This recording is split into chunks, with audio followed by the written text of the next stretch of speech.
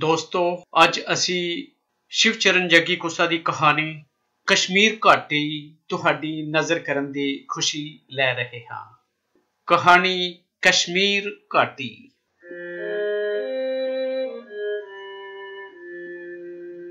ਕਸ਼ਮੀਰ ਘਾਟੀ ਵਿੱਚ ਸ਼ਾਂਤੀ ਨਹੀਂ ਹੋ ਰਹੀ ਸੀ। ਨਿਰਦੋਸ਼ੀ ਅਤੇ ਗਰੀਬ ਲੋਕ ਪਰੇਸ਼ਾਨੀ ਦੀ ਦੋਹਰੀ ਚੱਕੀ ਵਿੱਚ ਪੀਸੇ ਜਾ ਰਹੇ ਸਨ।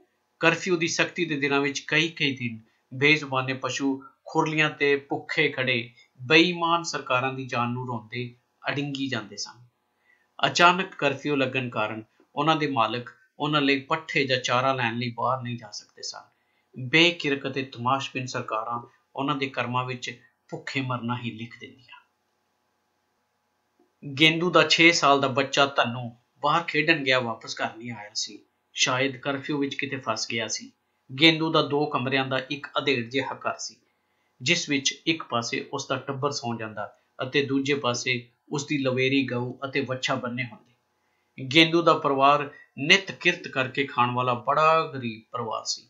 ਗੇਂਦੂ ਰੇੜੀ ਉੱਪਰ ਫਲ ਅਤੇ ਸਬਜ਼ੀ ਵੇਚਦਾ ਅਤੇ ਉਸ ਦੀ ਘਰਵਾਲੀ ਬੰਨੋ ਲੋਕਾਂ ਦੇ ਘਰ ਦਾ ਕੰਮ ਕਰਕੇ ਚਾਰ ਪੈਸੇ ਕਮਾ ਲੈਂਦੀ। ਪਰ ਹੁਣ ਸਖਤ ਕਰਫਿਊ ਲੱਗਣ ਕਾਰਨ ਉਹਨਾਂ ਦਾ ਸਾਰਾ ਢਾਂਚਾ ਹੀ ਖੜ ਗਿਆ ਸੀ। ਗੰਦੀ ਔਲਾਦ ਵੀ ਨਾ ਜੰਮੇ ਕਿਸੇ ਦੇ। ਕਿੰਨੀ ਵਾਰੀ ਪਿੱਟੀਆਂ ਮੈਂ। ਬਈ ਬਾਹਰ ਨਾ ਜਾਇਆ ਕਰੋ। ਚੰਦਰੇ ਕਰਫੂ ਦਾ ਕੋਈ ਪਤਾ ਨਹੀਂ ਬਈ ਕਦੋਂ ਲੱਗ ਜੇ। ਪਰ ਕਾਹਨੂੰ ਸੁਣਦੇ ਐ? ਲਹੂ ਪੀਂਦੇ ਐ ਥੇ ਹੁਣੇ। ਬਨੋ ਦੀਆਂ ਅੱਖਾਂ ਕਿਸੇ ਟੱਪ ਵਾਂਗ ਚੋ ਰਹੀਆਂ ਸਨ।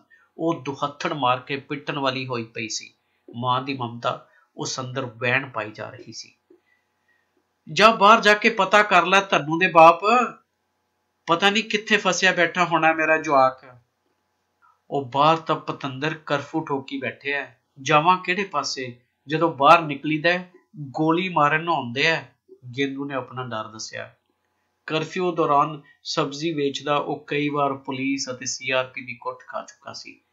ਬੰਨੋ ਨਿਰਾਸ਼ਤਾ ਵਿੱਚ ਲੰਮਾ ਸਾਹ ਖਿੱਚ ਕੇ ਬੈਠ ਗਈ ਅਤੇ ਉਸ ਦਾ ਮੁੜ ਬੇਵਸੀ ਵਿੱਚ ਰੋਣ ਨਿਕਲ ਗਿਆ।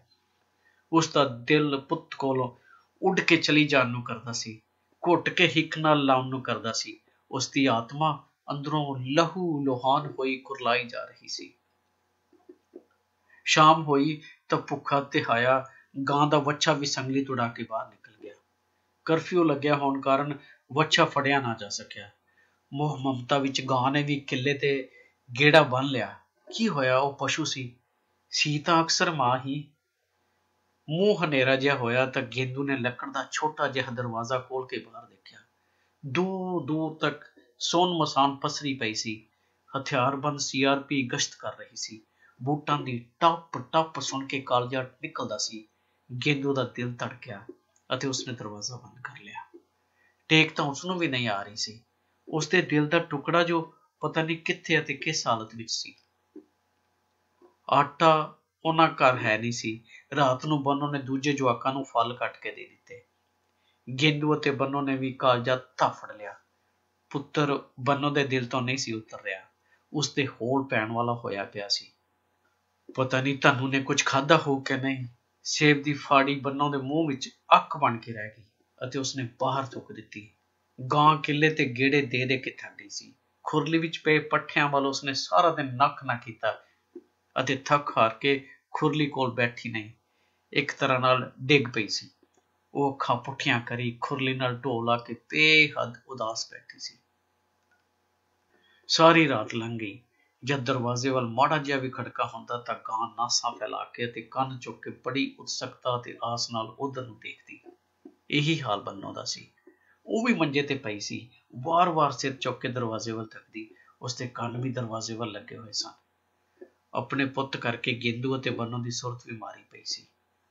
ਅਗਲਾ ਸਾਰਾ ਦਿਨ ਲੰਘ ਗਿਆ ਤੇ ਮੁੜ ਸ਼ਾਮ ਹੋ ਗਈ। ਪੁੱਤ ਦੀ ਸੋਚ ਵਿੱਚ ਪੌਂਦਲੇ ਗੇਂਦੂ ਨੂੰ ਅਚਾਨਕ ਭੁੱਖੀ ਤੇ ਆਈ ਗਾਂ ਦਾ ਚੇਤਾ ਆਇਆ। ਤਰਸ ਨਾਲ ਉਸ ਦਾ ਸਾਰਾ ਸਰੀਰ ਮੁਹੱਬਤੀ ਵਾਂਗ ਪਿਘਲ ਗਿਆ। ਉਹ ਆਪਣੇ ਨਾਲ ਗੱਲਾਂ ਕਰਨ ਲੱਗਾ। ਇਹਦਾ ਵਿਚਾਰੀ ਗਊ ਦਾ ਕੀ ਕਸੂਰ ਹੈ? ਇਹ ਤਾਂ ਆਪ ਆਪ ਦੇ ਵੱਛੇ ਕਰਕੇ ਦੁਖੀ ਹੋਈ ਬੈਠੀ ਹੈ। ਉਸਨੇ ਵੰਡ ਵਿੱਚੋਂ ਭਿਉਂਤੀ ਖਲ ਕੱਢ ਕੇ ਗਾਂ ਲਈ ਸੰਨੀ ਰਲਾਈ, ਪਰ ਗਾਂ ਨੇ ਨੱਖ ਨਾ ਕੀਤਾ। ਸੰਨੀ ਨਾ ਖਾਂਦੀ ਦੇਖ ਕੇ ਉਸਨੇ ਸਾਂਝੀ ਕੰਧ ਉੱਪਰੋਂ ਗੁਆਂਢੀਆਂ ਤੋਂ ਇੱਕ ਟੋਕਰਾ ਹਰੇ ਪੱਠਿਆਂ ਦਾ ਉਧਾਰਾ ਫੜ ਲਿਆ।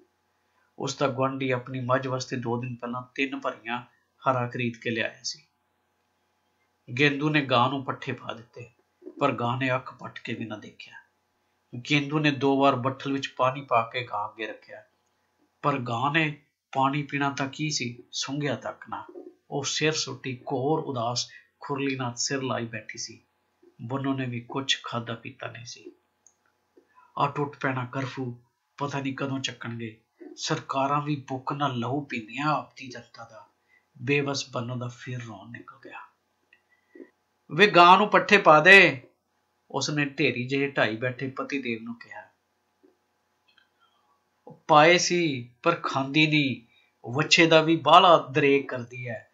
ਪਰਸੋਂ ਦਾ ਕੁਛ ਨਹੀਂ, ਮੂੰਹ ਨੂੰ ਧਰਿਆ ਇਸਨੇ ਫੇਰ ਵੀ ਮਾਂ ਹੈ ਨਾ, ਬੰਨੋ ਨੇ ਆਪਣੇ ਆਪ ਨਾਲ ਗੱਲ ਕੀਤੀ, ਪਰ ਮੂੰਹੋਂ ਚੁੱਪ ਸੀ। ਤੀਜਾ ਦਿਨ ਆ ਗਿਆ ਸੀ, ਦਿਨ ਵੀ ਢਲ ਗਿਆ, ਪਰ ਕਰਫਿਊ ਨਾ ਚੁੱਕਿਆ ਗਿਆ। ਬੰਨੋ ਚੁੱਲ੍ਹੇ ਕੋਲ ਅਤੇ ਗਾਂ ਖੁਰਲੀ ਕੋਲ ਭੁੱਖੀਆਂ ਤੇ ਹਾਈਆਂ ਬੁੱਤ ਬਣੀਆਂ ਬੈਠੀਆਂ ਸਨ। ਗੇਂਦੂ ਅਲਾਣੀ ਮੰਜੀ ਤੇ ਮੁਰਕੜੀ ਜਿਹੀ ਮਾਰੀ ਬੈਠਾ ਸੀ। ਬੱਚੇ ਬਾਟੀਆਂ ਵਿੱਚ ਚਾਹ ਪੀ ਰਹੇ ਸਨ। ਗੇਂਦੂ, ਬੰਨੋ ਅਤੇ ਗਾਂ ਤਿੰਨਾਂ ਦੀ ਭੁੱਖ ਪਿਆਸ ਮਰ ਗਈ ਸੀ। ਸੋਚਾਂ ਸੋਚਦਿਆਂ ਅਤੇ ਉਡੀਕਾਂ ਉਡੀਕਦਿਆਂ ਸੂਰਜ ਚੁੱਪ ਗਿਆ। ਨਾ ਕਰਫਿਊ ਹੀ ਚੁੱਕਿਆ ਗਿਆ ਅਤੇ ਨਾ ਹੀ ਉਹਨਾਂ ਦੇ ਬੱਚੇ ਜਾਂ ਬੱਚੇ ਦੀ ਕੋਈ ਉਗ ਸੁੱਕ ਨਿਕਲੀ। ਇੱਕਦਮ ਜਿਵੇਂ ਰਾਤ ਪੈ ਗਈ ਸੀ, ਹਨੇਰਾ ਅਸਮਾਨੋਂ ਛਾਲਾਂ ਮਾਰਦਾ ਧਰਤੀ ਤੇ ਆ ਉਤਰਿਆ। ਸਾਰੇ ਘਰ ਵਿੱਚ ਸੋਗ ਦਾ ਮਾਹੌਲ ਸੀ। ਸਾਰੇ ਚੁੱਪਚਾਪ ਸੁਣ ਹੋਏ ਬੈਠੇ ਸਨ। ਗਾਂ ਵੀ ਧਰਤੀ ਤੇ ਬੂਥਾ ਰੱਖੀ ਬੈਠੀ, ਬੁੱਝੀਆਂ ਅੱਖਾਂ ਨਾਲ ਸੁੰਨੇ ਵਿਹੜੇ ਵੱਲ ਝਾਕ ਰਹੀ ਸੀ। ਉਸ ਨੂੰ ਆਪਣੀਆਂ ਅੱਖਾਂ ਦਾ ਤਾਰਾ ਨਹੀਂ ਸੀ ਦਿਸ ਰਿਹਾ। ਕਿਸੇ ਨੇ ਕੁਝ ਨਾ ਖਾਦਾ ਬਸ ਸਿਰਫ ਪੰਨੋ ਨੇ ਆਪਣੇ ਦੋ ਬੱਚਿਆਂ ਨੂੰ ਘਰੇ ਪੇ ਫਲ ਜ਼ਰੂਰ ਕੱਟ ਕੇ ਖਵਾ ਦਿੱਤੇ ਸਨ। ਫਿਰ ਅਚਾਨਕ ਗਾਂ ਨੂੰ ਬਾਹਰੋਂ ਵੱਛੇ ਦੀ ਆਵਾਜ਼ ਸੁਣਾਈ ਦਿੱਤੀ। ਉਸਨੇ ਕੰਸੋਲ ਲੈਣ ਲਈ ਕੰਨ ਚੱਕ ਲਏ, ਨਾਸਾਂ ਫੈਲਾ ਲਈਆਂ, ਦੂਰ ਕਿਤੇ ਵੱਛੇ ਦੀ ਆਵਾਜ਼ ਫੇਰ ਸੁਣਾਈ ਦਿੱਤੀ। ਅਪਨਤ ਭਰੀ ਆਵਾਜ਼ ਸੁਣ ਕੇ ਗਾਂ ਨੇ ਬਰਾਬਰ ਜ਼ੋਰ ਦੀ ਆਵਾਜ਼ ਕੱਢੀ ਅਤੇ ਬੜੀ ਫੁਰਤੀ ਨਾਲ ਛਾਲ ਮਾਰ ਕੇ ਉੱਠੀ, ਜਿਵੇਂ ਉਸ ਅੰਦਰ ਨਵੇਂ ਨਰੋਏ ਖੂਨ ਦਾ ਸੰਚਾਰ ਹੋ ਗਿਆ ਸੀ। ਬੱਚੇ ਦੀ ਆਵਾਜ਼ ਫਿਰ ਸੁਣਾਈ ਦਿੱਤੀ। ਗਾਂ ਨੇ ਪੂਰਾ ਜ਼ੋਰ ਮਾਰ ਕੇ ਰਸਤਾ ਤੁੜਾ ਲਿਆ ਅਤੇ ਤਖਤਿਆਂ ਵਿੱਚ ਜਾ ਕੇ ਟੁੱਟ ਮਾਰੀ। ਤਖਤੇ ਟੁੱਟ ਕੇ ਖਿਲਰ ਗਏ ਅਤੇ ਲਗਾਤਾਰ ਮੋਹ ਨਾਲ ਹੌਂਕਦੀ ਗਾਂ ਬਹੁਤ ਹੀ ਬਾਹਰ ਨਿਕਲ ਗਈ। ਉਸ ਨੂੰ ਕਿਸੇ ਕਰਫਿਊ ਦੀ ਕੋਈ ਪਰਵਾਹ ਨਹੀਂ ਸੀ। ਮੰਜੇ ਕੋਲ ਖੜੀ ਬੰਨੋ ਸੋਚ ਰਹੀ ਸੀ ਕਿ ਕਾਸ਼ ਮੈਂ ਵੀ ਗਾਂ ਹੁੰਦੀ। ਅੱਜ ਆਪਣੇ ਪੁੱਤ ਨੂੰ ਮੈਂ ਵੀ ਲੱਭ ਕੇ ਲੈ ਆਉਂਦੀ। ਕਾਸ਼ ਮੈਂ ਵੀ ਗਾਂ ਹੁੰਦੀ।